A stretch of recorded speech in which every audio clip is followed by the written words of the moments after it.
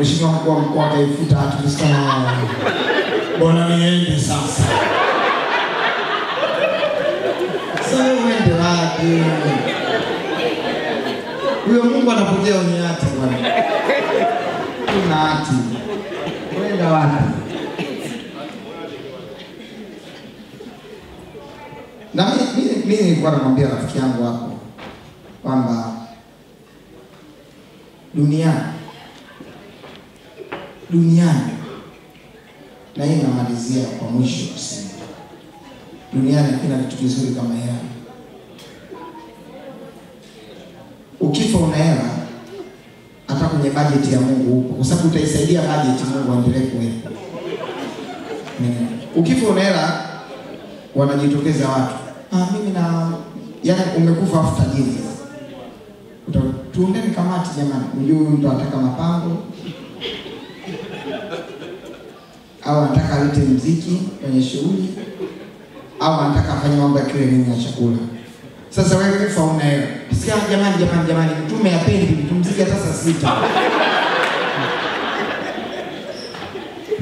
Na wewe basi subiri tule. Ah, jamani, mnapishana na vitabu jamani, tukazike kwanza ndio tuje. Ndio tusile jamani. Kwa sababu umekufa una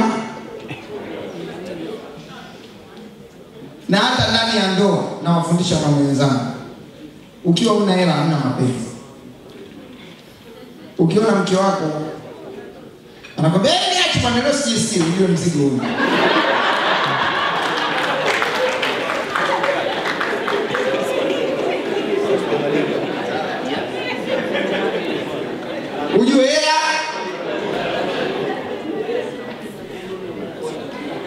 Sasa, kuwa na hela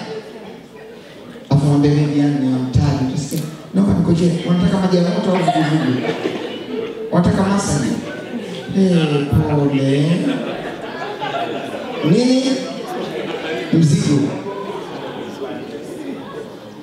era sasa wewe umekufa unaacha cherehani, una maana gani? Ujue hata kwa Mungu wiki. ujue hata Mungu anaanza kufa kama makonda. Mungu anaita haya, mkuu wa mkoa present.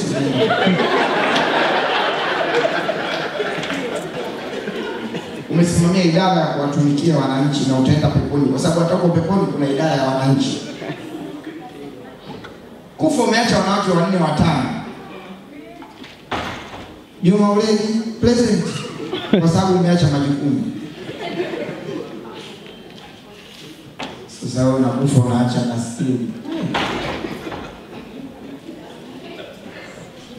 Lakini kuna kitu kimoja nataka niwaambie, nimejifunza, naomba nitoe maisha, sio mimi jamani. Kuna mtu huko nyuma, sio mimi, maisha jamani. Dada, njoo, njoo niangalizie. Nimekufanisha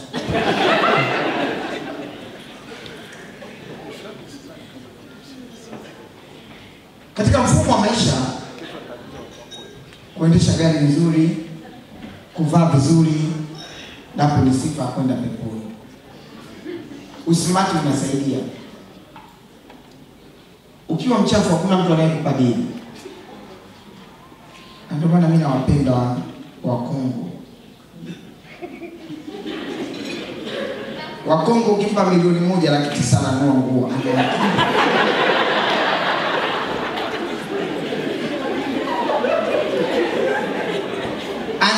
nini anaenda kufanya.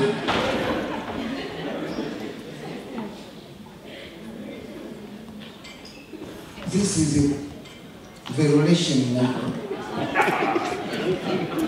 wewe umesoma sasa hivi, mimi nimesoma na baba yako. Hichi Kiingereza cha zamani lazima ukubali.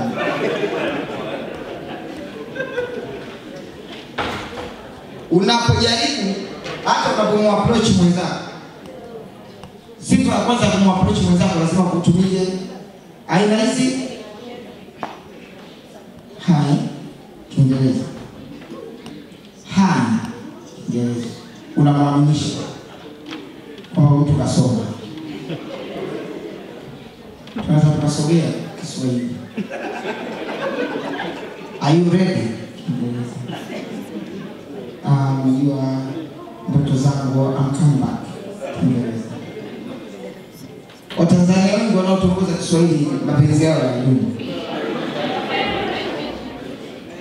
Sifa ya kwanza kumtongoza binti lazima udumkizie approach ya Kinge. Na sasa hivi kwa dunia sasa lazima udumkie na ki, na Kichina kidogo. Kwa sababu dunia ni utanda. Yeah. Ah, Petima.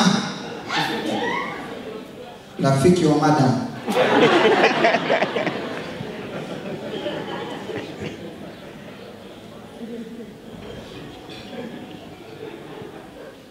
Ila niseme na kwa kumalizia kuambia natoa maneno mimi komedi zangu kidogo nataka niweke na mafundisho.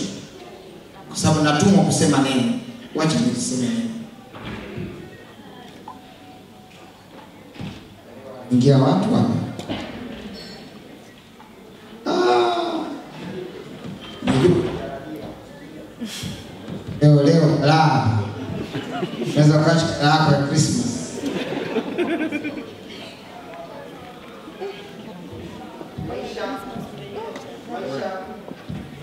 Maisha ndio vile unavyotaka ili iwe. Usiogope kutukana na kudhalilishwa. Fikisha malengo yako kichwani mwako, ambaye hakuna mtu anayekusaidia kutafakari. Anayekusaidia kutafakari ni Mungu peke yake. Narudia tena, ndugu yako anaweza kawa adui, rafiki anaweza kawa mtani, lakini hata rafiki usimtegemea asilimia tisini, naye anaweza kawa adui, sababu maisha ni connection.